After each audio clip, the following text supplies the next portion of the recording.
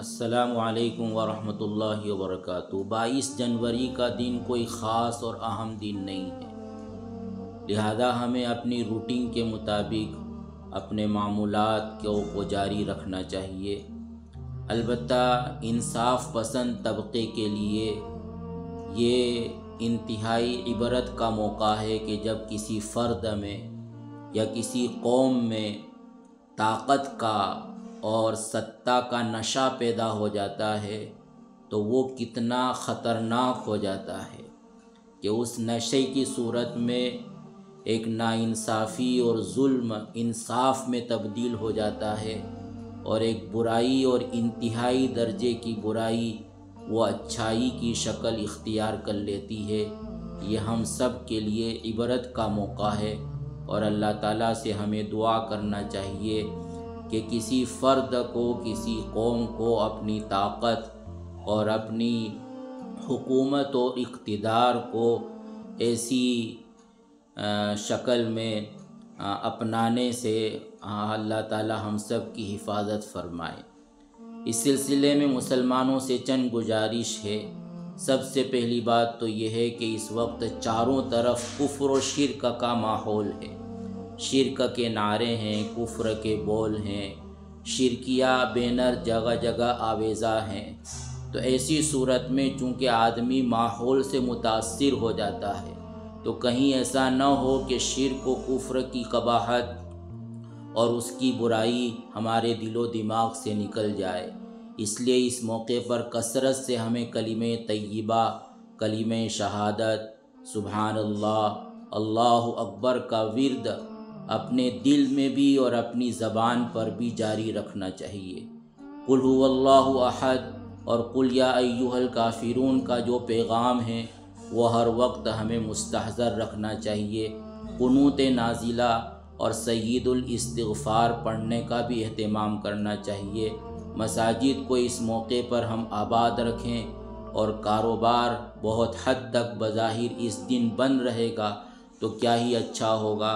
कि हमारे जो जवान अपना वक्त मस्जिदों में एहतिकाफ़ की नीयत से गुजारें।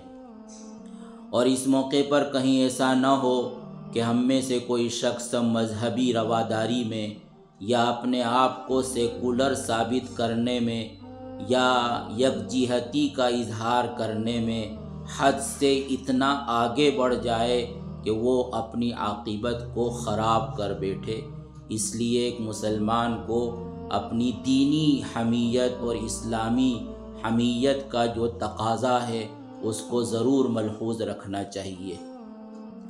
दूसरी बात यह है कि ये वक्ती हंगामा है।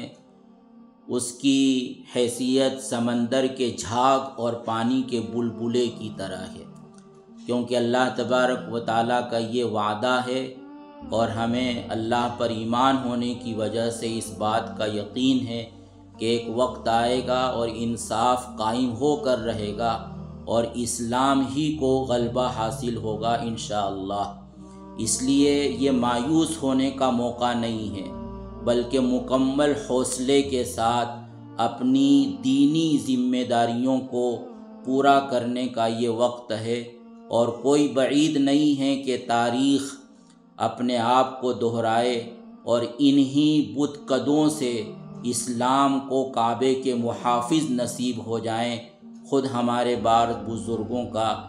यही एक एक इनकशाफ है।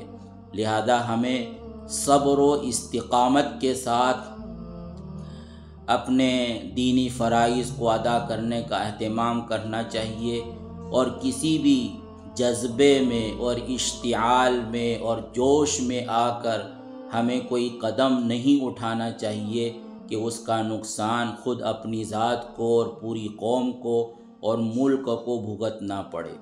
इसलिए बहुत ज़्यादा संजीदगी के साथ और सब्र के साथ अपनी दीनी ज़िम्मेदारी में और मुल्क को, अमन व अमान को कायम करने में हमें पूरा रोल और किरदार अदा करना चाहिए। तीसरी और आखिरी बात यह है कि दस्तूर के मुताबिक मुल्क अभी सेकुलर है, लिहाजा हुकूमत का किसी भी मज़हब की सरपरस्ती करना और उसके फ़रोग के लिए सरकारी वसाइल का इस्तेमाल करना यह आइन और संविधान की ख़िलाफ़ वर्जी है। लिहाजा इंसाफ पसंद लोगों को इस पर आवाज़ उठाना चाहिए। ख़ास तौर पर यह साइंसी और टेक्नोलॉजी का दौर है।